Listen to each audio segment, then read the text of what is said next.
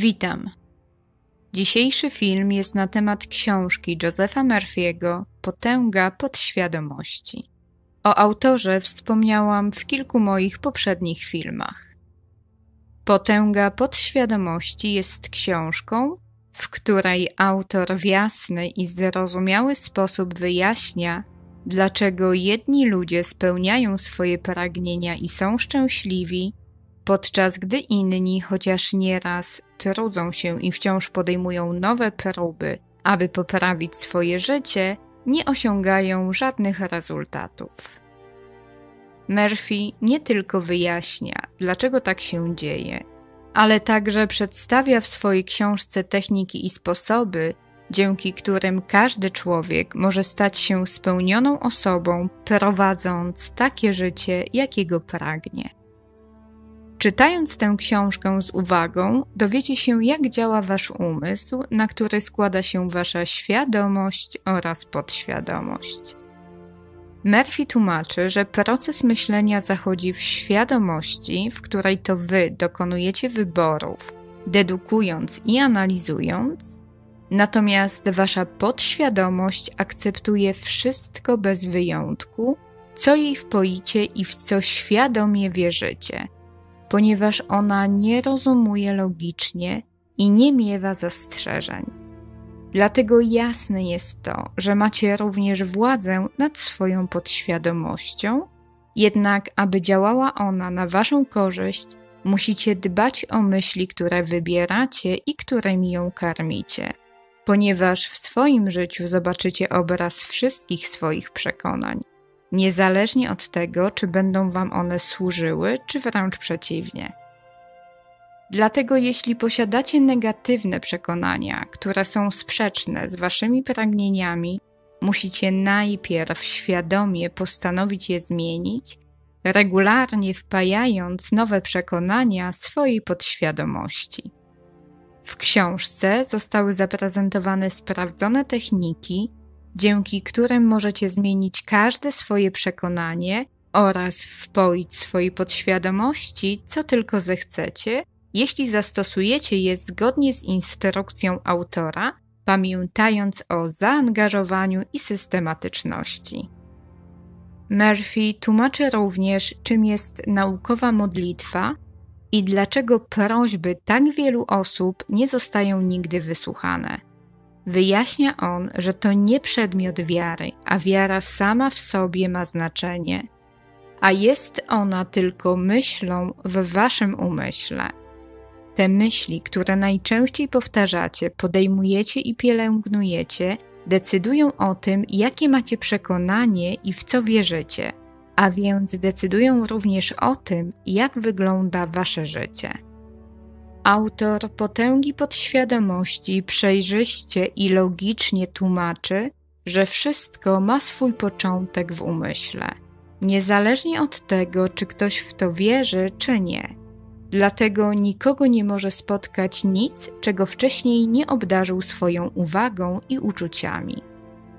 Murphy wielokrotnie powtarza w swojej książce, że każdy człowiek sam decyduje o swoim życiu i jeśli do tej pory tego nie wiedział, przez co kreował je nieświadomie w oparciu o swoje obawy i nawykowe myślenie, teraz może zmienić swój los, jeśli zacznie wybierać i pielęgnować te myśli, które będą zgodne z jego pragnieniami.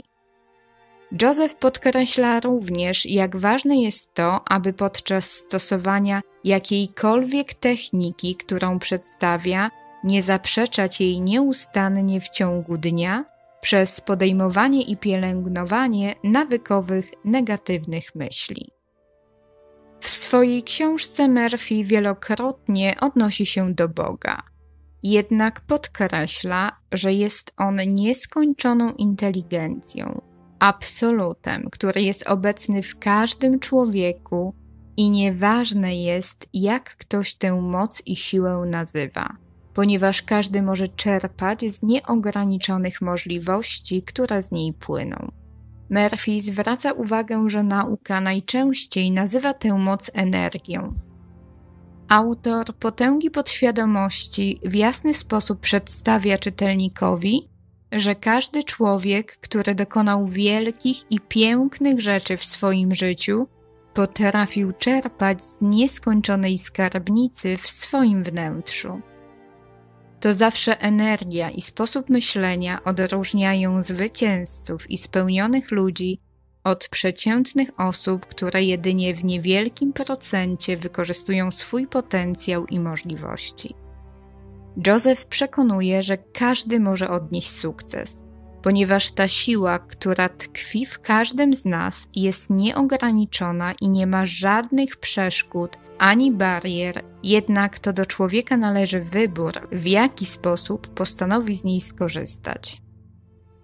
Podczas lektury tej książki zrozumiecie, że to zawsze wy dokonujecie wyboru poprzez decyzję o tym, na czym będziecie skupiać swoją uwagę. Jeśli postanowicie się koncentrować na brakach i ograniczeniach, to właśnie ich obraz zobaczycie w swoim doświadczeniu. Natomiast jeśli wasza uwaga będzie skupiona na zdrowiu, sukcesie i bogactwie, doświadczycie ich manifestacji w swoim życiu. Murphy w potędze podświadomości poruszył wszystkie najważniejsze kwestie dla każdego człowieka. Wytłumaczył, dlaczego tak ważne jest, aby wybaczać sobie oraz innym, by móc w pełni cieszyć się życiem i ruszyć naprzód, spełniając marzenia i uwalniając się od przeszłości. Dokładnie omówił również, w jaki sposób można osiągnąć doskonałe zdrowie, pokonując każdą chorobę przy pomocy zmiany przekonań oraz jak się wzbogacić, korzystając z nieograniczonej potęgi naszej podświadomości. To jednak nie wszystko. Decydując się na lekturę tej książki, dowiecie się również, jak poprawić swoje relacje z innymi ludźmi sprawiając, by stały się one harmonijne i satysfakcjonujące, oraz co należy zrobić, aby zacząć przyciągać do swojego otoczenia odpowiednie osoby.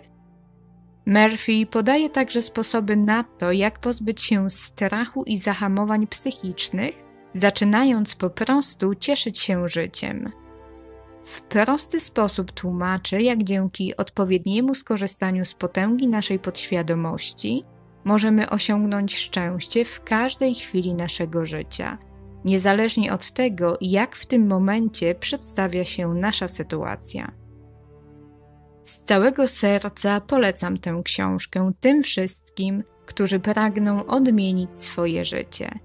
Każda osoba, która przeczyta ją z uwagą i naprawdę zastosuje się do zawartego w niej przekazu, może spełnić swoje marzenia.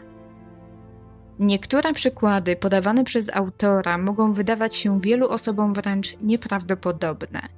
Jednak zaręczam Wam, że nie ma w nich nic magicznego, a potwierdzają one jedynie to, że Wasza podświadomość nie posiada żadnych granic ani nie zna ograniczeń. To ważne, abyście pamiętali o tym, że Wasza podświadomość przyjmie za prawdziwe każde Wasze przekonanie, bez wyjątku niezależnie od tego, czy będzie ono logiczne, czy nie, fałszywe, czy prawdziwe. Jeśli tylko wy będziecie przekonani, że coś jest możliwe, wasza podświadomość zrealizuje to w waszym życiu, ponieważ ona nie analizuje, a jedynie odpowiada na waszą wiarę i przekonania. Dlatego warto, aby wam one służyły. Na dzisiaj to wszystko. Dziękuję i pozdrawiam. Do usłyszenia.